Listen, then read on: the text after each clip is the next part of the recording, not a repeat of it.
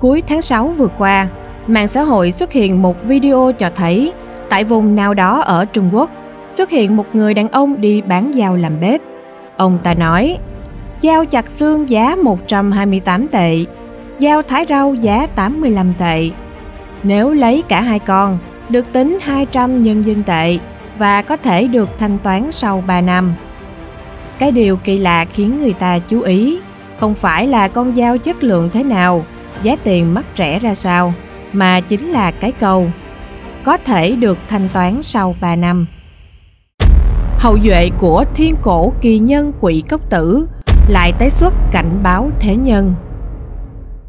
Tiếp theo câu chuyện phía trên, người bán giao nợ sau khi nói về giá cả và cách thanh toán nếu mua. Ông ta còn đưa ra dự đoán lạ như sau. Trong 3 năm nữa, giá thịt lợn mà không tăng đến 40 tệ một cân, giá gạo không tăng đến 6 tệ một cân, thì tôi sẽ không đến thu tiền mua dao. Bây giờ nếu ai mua dao, chỉ cần cung cấp thông tin địa chỉ nhà của mình, đến thời hạn thì anh sẽ tự khắc đến thu tiền. Trời đất bao la, luôn xuất hiện những con người có khả năng thần kỳ. Họ thấy trước được mô hình phát triển của sự vật. Trong lịch sử, có rất nhiều nhân vật như vậy, như tiên sinh và các lượng, viên thiên cang lý thuần phong, lưu bá ôn. Những vị đó được biết đến rộng rãi do họ lộ diện. Tuy nhiên, có rất nhiều cao nhân vẫn không muốn lộ mặt, và truyền nhân của quỷ cốc tử chính là một trong số đó dân gian truyền tai nhau rằng những người bán giao nợ đều là truyền nhân của thiên cổ kỳ nhân, quỷ cốc tử. Trước mỗi sự kiện lớn xảy ra, họ đều xuất hiện dưới hình thức bán giao nợ, thông qua hình thức này để cảnh báo thế nhân. Họ thường đi vào các bản làng, mang theo gánh đồ, bên trong là những loại dao kéo như liềm, kéo, dao. Khi gánh thì lấy vải đen quầy kính, rất ít người biết được trong gánh là thứ gì phương thức giao dịch của họ cũng rất đặc biệt. Sau khi đưa giao cho người mua, họ sẽ ghi tên và địa chỉ người mua vào một cuốn sổ, không thu tiền ngay mà sẽ để lại những lời tiền đoán. Đến khi những lời nói đó thành sự thật thì mới đến thu tiền. Những nhân vật bí ẩn này đã từng xuất hiện vào thời nhà Tống, nhà Thanh và những dự ngôn của họ đều ứng nghiệm rất chính xác.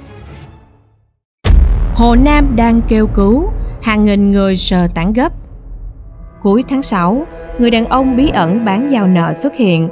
Chỉ sau đó mấy hôm, thảm họa liền ập đến. Ngay ngày 1 tháng 7, thủ phủ tỉnh Hồ Nam Bình Giang ở Nhạc Dương, tỉnh Hồ Nam đã phải hứng chịu trận lũ lụt nghiêm trọng và hiếm gặp. Mực nước đô thị đã vượt qua mức kỷ lục 70 năm và đạt độ sâu 3 mét. 190 hồ chứa tràn bờ, các thảm họa xảy ra khắp nơi như lở đất và nhà cửa sụp đổ, người mất tích. Các nền tảng xã hội đại lục hầu hết tràn ngập những lời kêu cứu và các chủ đề liên quan thường xuyên đứng đầu danh sách tìm kiếm nóng.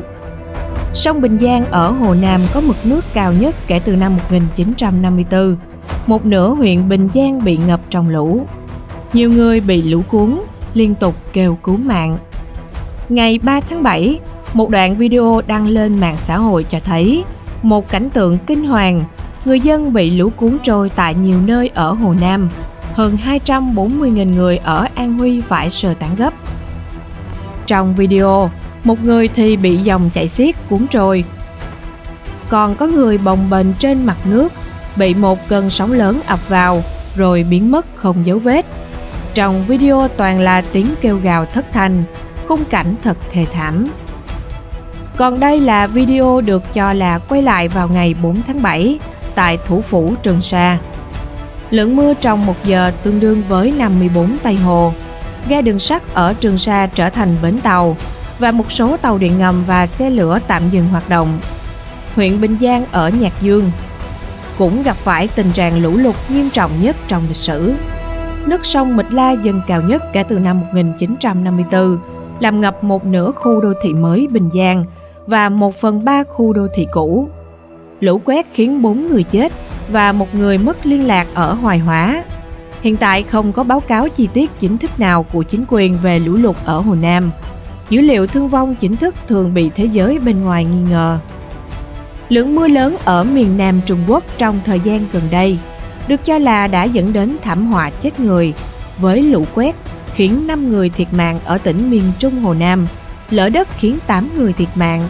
Tại tỉnh Quảng Đông, 38 người chết do mưa lũ và lũ lụt hồi tháng 6. Truyền nhân của quỷ cốc tử liên tục xuất hiện. Vào tháng 2 năm 2019, trước khi đại dịch viêm phổi Vũ Hán bùng phát, một người đàn ông trung niên bán giao nợ đã xuất hiện tại một ngôi làng dưới chân dãy Đại Biệt Sơn ở Hoàng Cương, tỉnh Hồ Bắc. Lúc đó ông nói, khi các hộ gia đình ở đây thụ án ở nhà, có đường mà không được ra ngoài, không được đi lại, tôi sẽ đến lấy tiền. Dân làng lúc đó cho là kỳ quái, nhưng phải hơn một năm sau mới vội lẽ rằng người bán giao nợ đó chắc chắn không phải là người bình thường. Trước trận lũ lụt nghiêm trọng ở tỉnh Hà Nam vào tháng 7 năm 2021, vào ngày 22 tháng 10 năm 2020, có một người bán giao nợ xuất hiện ở phía nam huyện Tân, thành phố Tính Dương, tỉnh Hà Nam, nói rằng hai con dao làm bếp có giá 138 nhân dân tệ. Ông ta sẽ không tính tiền cho đến năm sau. Có người giải thích rằng, người gửi dao đó muốn nói, nếu sang năm còn sống thì hãy gửi tiền. Và sau trận lũ lụt ngày 20 tháng 7 năm sau đó, nhiều người nhận ra rằng người gửi dao đó đã đoán trước được biến cố thảm họa này.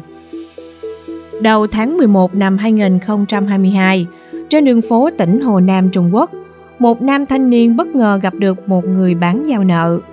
Đó là một người đàn ông mặc chiếc áo vải cũ. Ông ta chủ động giới thiệu giá của con dao trên tay, nói rằng mình có hai con dao tốt, một con giá 50 tệ và một con giá 90 tệ. Kỳ lạ là, ông không yêu cầu người thanh niên thanh toán tiền, mà chỉ cần viết một tờ giấy nợ là được. Trước khi rời đi, ông đã nói một câu như sau.